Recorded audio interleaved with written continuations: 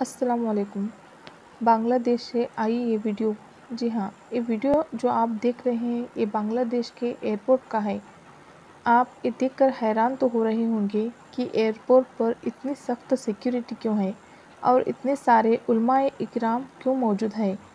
ये जो तालब आपको नज़र आ रहा है, जिसके गले में हार डाला हुआ है, इस बच्चे ने मक्तुल मुकर्रमा के अंदर मुसाबकुल कुरान करीम में तीन नंबर की पोजीशन हासिल की है, यानी कि मक्तुल मुकर्रमा में कुरान करीम का सही पढ़ने वाला का कंपटीशन होता है।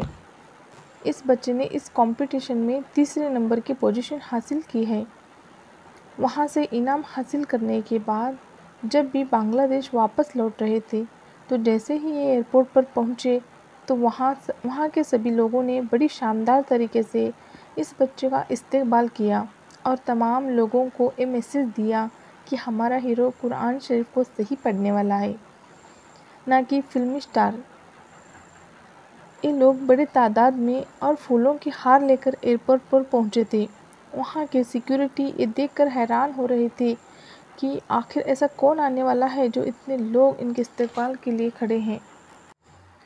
बेशक हमारा सच्चा हीरो कुरान शरीफ को सही पढ़ने वाला है और हमारे प्यारे नबी हजर पाक सल्लल्लाहु अलैहि वसल्लम ने इरशाद फरमाया, जो तुमसे बेहतरीन शख्स वो है